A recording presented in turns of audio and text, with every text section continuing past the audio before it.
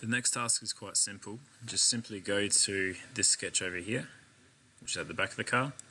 Right click, go edit sketch.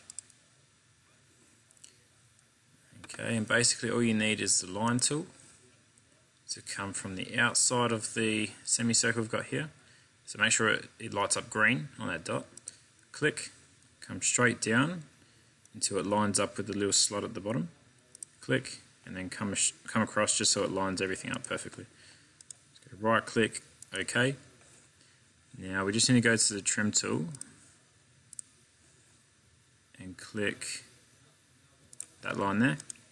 So now we've got a full shape in here. Press finish sketch and updates it here.